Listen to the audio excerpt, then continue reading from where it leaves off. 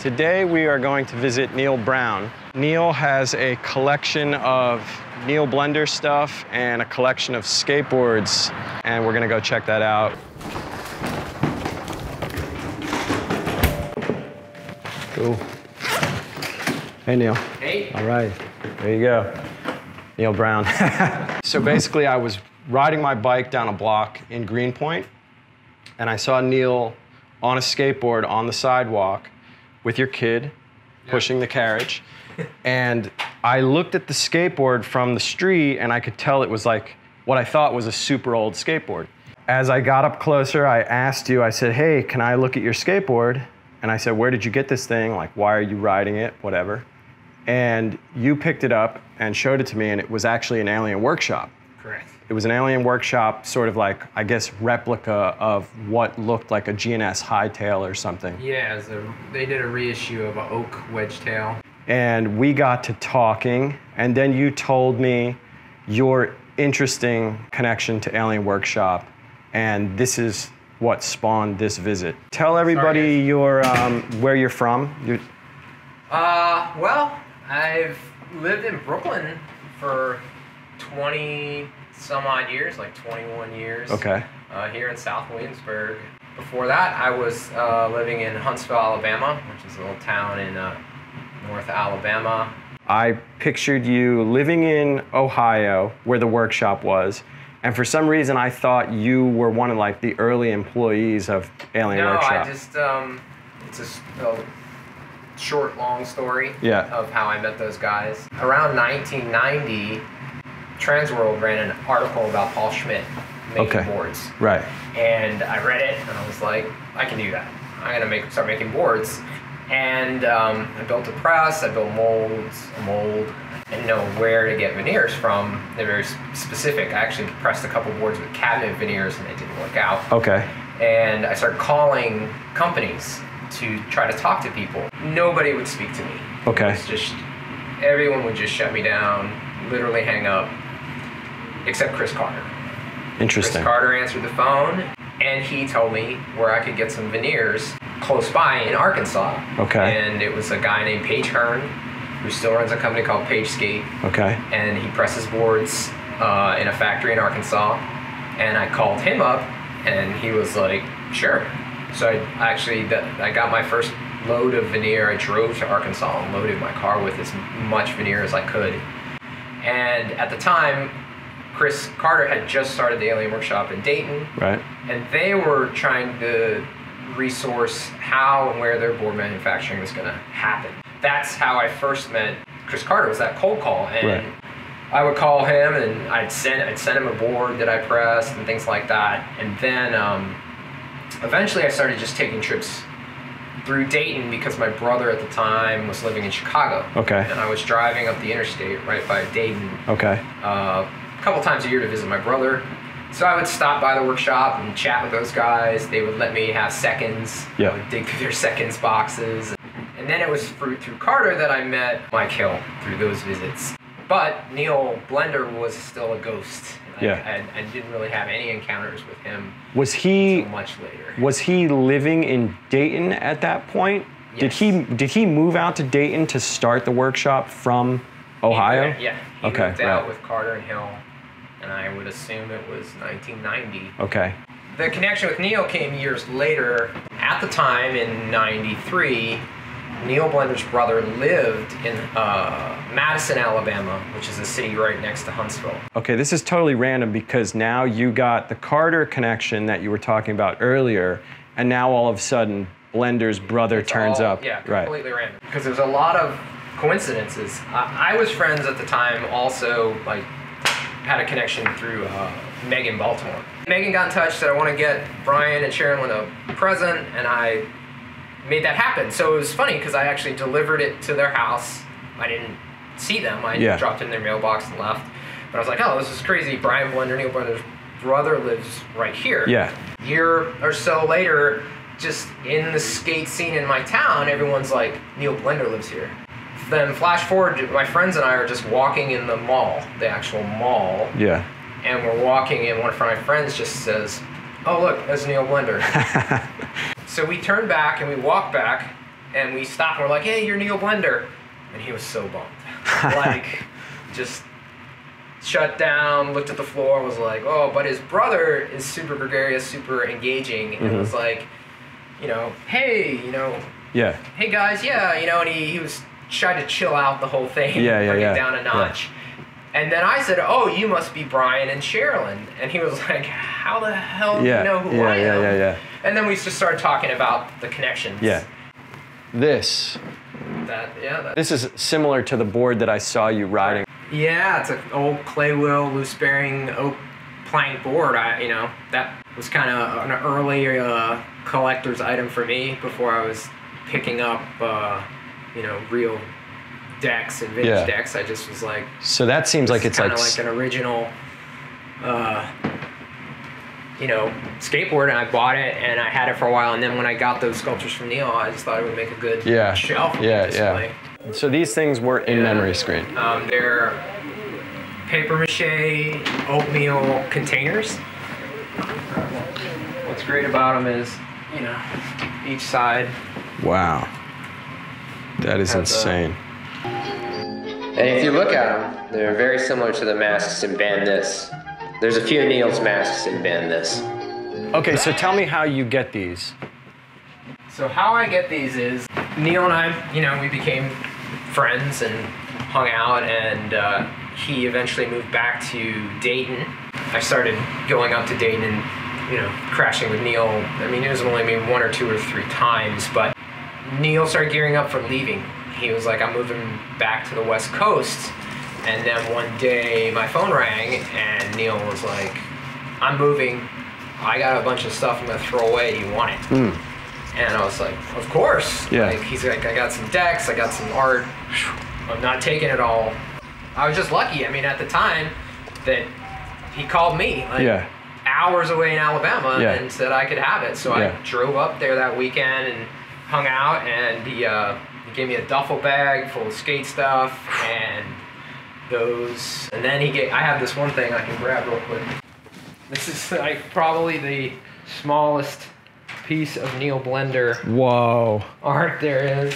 It's like a shell or something. Yeah, it's a pistachio wow. mask he made. Damn, that is insane. Neil loaded me down with all this stuff, but at the time it was kind of before this skate nostalgia collecting Yeah, yeah, yeah. started happening. Yeah. And so I um I kind of gave I'd say 75% away to my friends in Alabama. Like Wow. my core friends that kind of interacted with Neil, knew Neil. Yeah. You know, I kind of divvied it up. I wasn't like Yeah. like I took a few things that I really liked Yeah. and um, the mask. I mean the um, sculptures. Yeah. Um, that Mark Gonzalez up there is a deck that Mark gave Neil. Tell me about this one with your name on it. Um, so at a certain point, Mike Hill decided to start doing uh, guest artist decks, and the series was called KTC. Uh huh. and uh, he called me up and said, "Do you want to do a board?" Um, and that's it. Okay, so next to that is uh, the driving, Neil Blender driving, know. which that is an act. That's a Neil Blender drawing of Eric Nash driving the car. Workshop wise, like the the olives is something I acquired from eBay, but I have the original screens for that Okay. over here. Films. Same with the Blender speakers. That was a gift from Mike Hill. God, look at that shape. And I have the original with halftone that they used to burn the screens that was burned from the photograph that Neil took of his Gotcha. actual speakers. Those are Neil's speakers. Hill gave me the visitor, Hill gave me that slick. Uh, Which that is Neil art, if I'm not mistaken, and that Yeah. that's very similar to the drawing that's on the cover of the Dinosaur Jr. record. This was in the duffel bag. this was in the bag from uh, Neil. Wow. This, I think, deck was called the Tracker 757. Oh, okay. I thought I thought maybe this was a because he rode for Tracker Trucks. And they, God um, damn! Look at this thing. and uh, I think they just reissued it with uh, Neil. This is interesting. The double rails. Uh, Pizza Hut sticker. Wow. I remember when I, we were talking about trying to date this. This, It was yeah. this SU 2000 Yeah. shell sticker. That was like a, a gas that they had come out with at the time. The Coatmen. Wow, that's Neil's writing. So here's the the big um, surprise. Uh, this is for you. Get the. F- no, no, no, Yeah, it's yeah. not. It's not for me. It is. No, it's not. It is. No, it's this, not. It can. I think I'm uh, gonna faint. It, it can um, Oh my god. move on to a new home. I, w- I would probably mug and kill somebody on the street for this. This is so sick. Fruit of the Loom. Damn, that's dope. So this. Start with the front of the back. This was just also in the duffel bag for Neil. Oh my god. Original um, G&S. Okay, let's quickly talk about this. What do you know about G&S in terms of their Christian thing? It's like a husband and wife. I don't even remember their names, right? They're Christians, and they, you know, at the time they still, you know, put the put that forward and stuff like these competition jerseys. Yeah, I, had heard a, a rumor that part of uh, Chris Carter and Hill breaking away was that they wanted to distance themselves from the G&S. They, in fact, I had heard that they always said that G&S stood for God Squad, which is you know them them guys taking the piss, but uh, obviously it's Gordon and Smith, the surfboard manufacturers. This is Neil's team competition jersey that he wore, and I would date this back to probably 1980, if that, 81. But on this is the first Neil Blender skateboard graphic, his first model, I believe.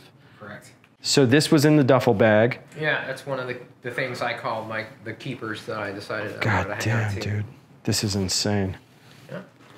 But so the Belton story on that is, um, in Huntsville, Alabama, there was a restaurant, a Mexican restaurant named Bandito Burrito. And that's where all the skaters worked and hung out. Okay.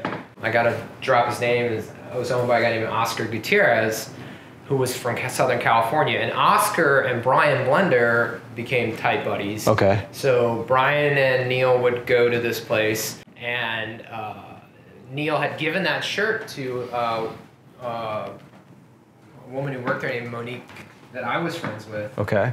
And then she was just like, "Hey, do you want this?" Damn, she gave away. and I was like, "Sure." That's insane. So I've had that since then. So this is from the Notebook series, and Neil drew a bunch of those for all the team riders. Bo Turner, Florida legend, right there. And then this is another Bo Turner, and if you see the the cut Ta- tag, yeah, yeah. this was from when I was pulling seconds. Okay, so that's a Uh, Belton tag as well. you Super interesting. When I was pulling seconds. Wow, look at the- that. the scrap pile. God, um, that is amazing. Seconds box because the screen was slightly crooked. Wow. This, uh, Oh my God. Jesus. God damn, this is this is insane. These are all Neil's t-shirts, yeah. possibly. I would literally, I would take somebody's neck and I would squeeze the life out of them and take this shirt off of them and walk away. Well, you don't have to because that's another thing that's going home with you, Bob. Why? What do you do? Don't freak me out. It is. Don't freak me out. This graphic, when I was a kid, I would walk into the skate shop and I would literally look at it and I would be like, what is that? What is that? It was the coolest thing I had ever seen. So then it should be with you because you. Uh, this I'm gonna wear this. Oh my, ugh. all right, this is insane. Okay, so this is the called the snake and snake and lattice graphic. That's probably like fifth graphic, maybe out of fourth graphic, third. Early, yeah. Yeah. no, I mean, the story that Neil said, um, I think it was in the Thrasher interview about graphics, was he handed that off, and a woman who did graphics at G&S did the did the snake, Interesting. and so that's why if you look at it, you're kind of like, eh, it's kind of Yeah, it's kind of it doesn't look like Yeah. something Neil would do. Yeah, yeah. He didn't draw the snake. it's iconic and it's man, it's so sick. Beautiful. According to Brian, any shirt that was cut, Yeah. so the bottom of that. Oh, I see. The bottom of Yeah, Neil cut. was kind of like notorious for That- cutting his shirts. That meant that Neil skated it. Yeah. All right. So this one, I I'm pretty sure I have that photograph. I posted it on my Instagram account of Neil playing his guitar in this shirt, which is fucking crazy. God damn! Look at that. He cut the neck. Got the Christian Hosoi treatment on this one. Amazing. This is the original one, you know pre-digital layout for Wow. this box. Wow. That's so sick. So Wow. if you can see, Yeah. Wow. This, that is you know, amazing. that would be the spine. Mm-hmm. Um, this would be the front, you know, and you can read it. Face photo number two. Right? Um, you know, and they would they would send like this is just a sticker, and then the the printing company would have to photograph that to create this. Wow. whole packaging. God damn. You know, I feel like I've never even seen the cover of Memory Screen. Yeah, and then this would be the reverse. Wow. Same kind of thing. They would have the, the layout, Unbelievable. and um, you know they'd send they'd send this sheet, and that's like how you're gonna lay out your box. And then uh, Mike had this, and he was just like, "Hey, you want this? God damn. Sure." This is like crazy uh, sort of workshop history, Yeah. you know, stuff right here. I love this. I don't know if you can get that. Memory screen was intended to be viewed in total darkness, wow. uh, preferably with a VCR connected to your stereo. That's great. And so that is the Wow. text that they had printed on the reverse. Interesting. Things I wanted to keep. There's a funny story. Oh, wow. Me Look writing an article about uh, Oh, there you go. About the South for uh, uh, the first issue of uh, Big brother. Brother. So Steve Rocco calls me one day, and he's like, "I'm gonna start my own magazine. Do you want to come out here and work for me?" And I couldn't tell if he was being serious Yeah. or jerking me around. And in the end, he was being serious. Yeah. Um, at the time, I was just kind of like blown away, wasn't sure. And so at the end of the conversation, he said, Look, if you're not going to come out here and work for me, write, just write me an article about skateboarding in the South. And that's what ended up in that, um, in that issue.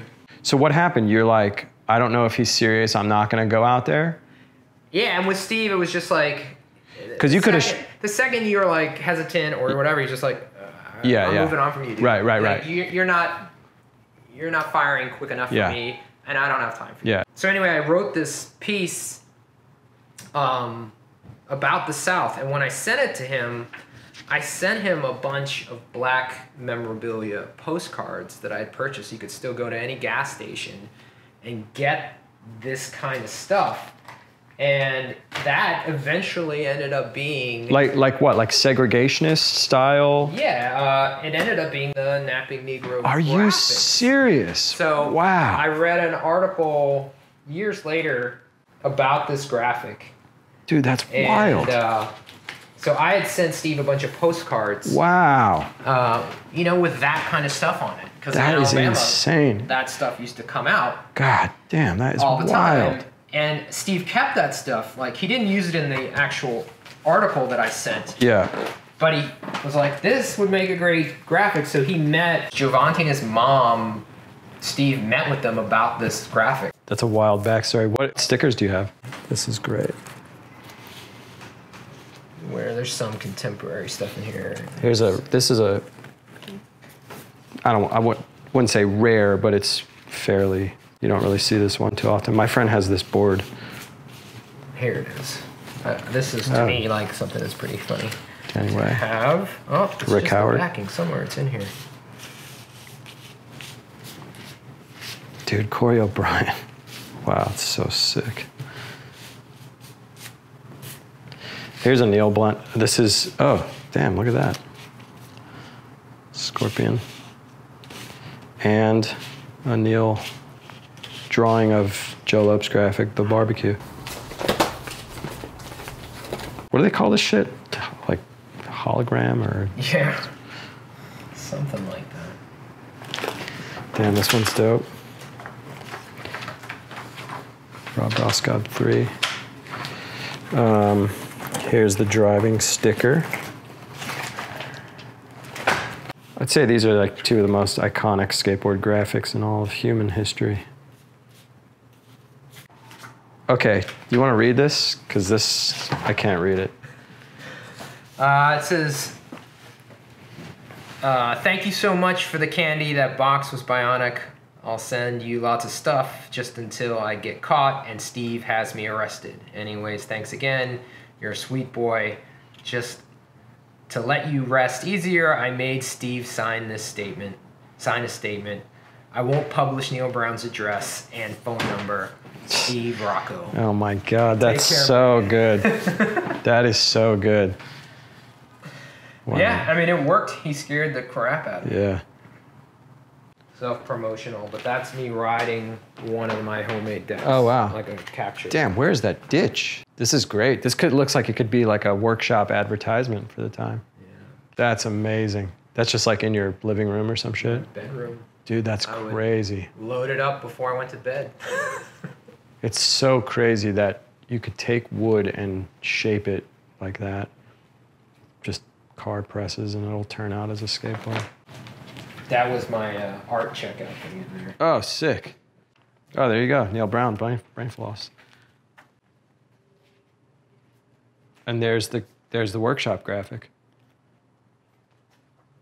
Oh, and there's the photograph.